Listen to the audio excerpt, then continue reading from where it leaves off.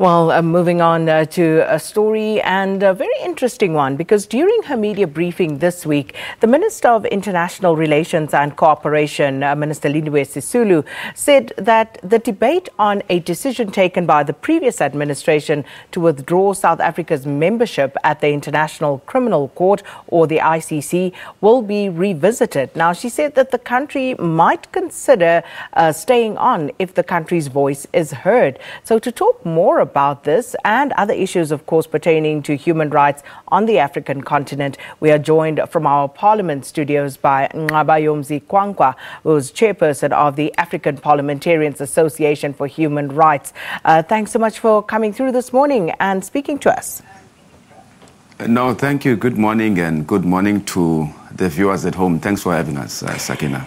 Be- before we even get into the minister's um, utterances this week, AFRIPA, what exactly is this organization about and uh, what is its vision?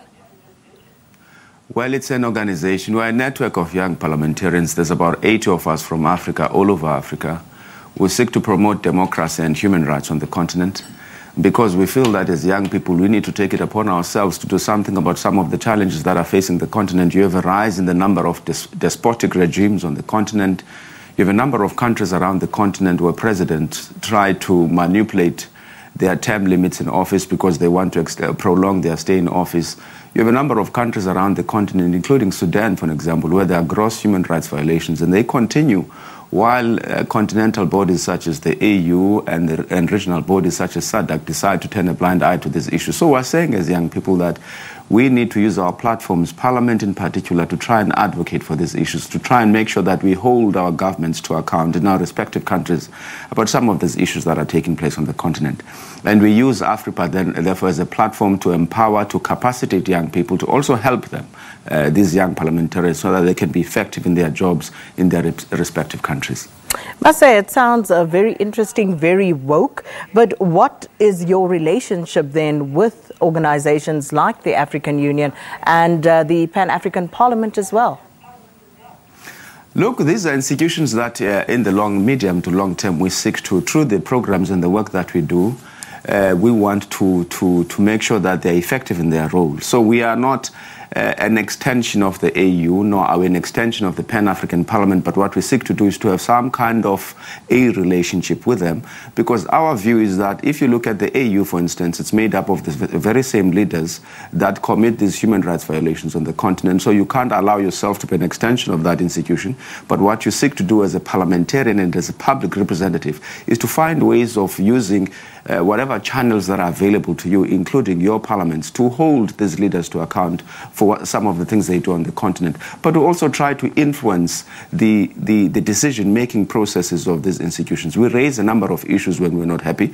Recently, we engaged, for example, with the Human Rights Commission at the AU, saying, trying to find out whether they had investigated some of the human rights violations on the continent, and if yes, what were the outcomes of those investigations, and if no, what were the reasons or the reasons why they haven't considered uh, doing proper investigations on some of the issues which were raised to us by our, our members within AFRIPA who are, who are part and parcel of, of these member states on the continent. Some of those people, for example, came from Burundi, citing some of the human rights violations that took place before the, the referendum, which took place in May, saying people were brutalized, people were killed, people were forced to actually vote in a particular way during that referendum. So, with that narrative as a backdrop, you know, that backdrop of strong men uh, dictators in some instances uh, who are, as it were, in charge of the African continent.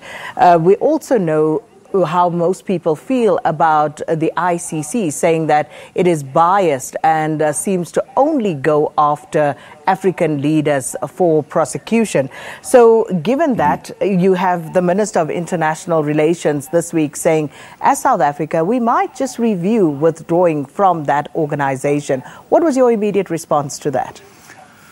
Well, when we had a regional symposium uh, last weekend in Malawi, on the sidelines of those discussions, it's one of the issues actually I was asked by a, a, a journalist in Malawi was saying, but you come here as South Africans, you come here, you want to tell us about human rights issues, and yet your country is considering, in fact, took a decision last year to withdraw from the IEC, from uh, the ICC rather. Uh, look, even when, as we're debating this matter in Parliament last year, we made it clear as the United Democratic Movement that it was an irrational decision on the basis of the fact that we felt that the first step naturally in, situa- naturally in situations where things go wrong is to try and reform the institution from within. And once all else has failed, you can then take a decision to say you're withdrawing. But we felt at the time that the ANC was being irrational, the African National Congress government was also being irresponsible in the manner in which it did that. Imagine taking a decision to say the Roman Statute, which was adopted in 1998 and came into effect in 2002, you say you are withdrawing from it when you have a human rights record in Africa that is one of the best, when your entire international relations, in fact, your entire foreign policy, is since 1994 has been built on the basis of the promotion and the respect of, for human rights on the continent. And now you also have countries like Burundi. Remember, after we made that announcement, we're immediately supported and backed up by Burundi. Who is Burundi? And Sudan, they said we're also going to join South Africa. It makes it difficult for us who are human rights activists to do our work on the continent. So we welcome this decision, and now we're hoping that the, the African National Congress government will say that will consider all these issues, but also develop a plan to say, how do we then influence the reform of the ICC? Because the fact of the matter is, they cannot continue to do what they are doing, where they pick on Africa, where African leaders and Africa as a continent become soft targets. They turn a blind eye to other violations around the world, where it's actually uh, they happen in first world countries. There needs to be a fair and a balanced approach in how they deal with these matters.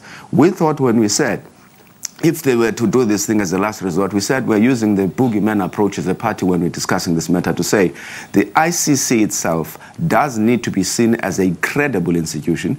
It needs to be believable to the public. And and, and, that entails having countries which have a human rights, good human rights record like South Africa to be part and parcel or to be signatories of the ICC. So we're saying use that process, try to tell them that if you don't reform, if you don't change, if you don't treat everyone fairly, then we might consider withdrawing.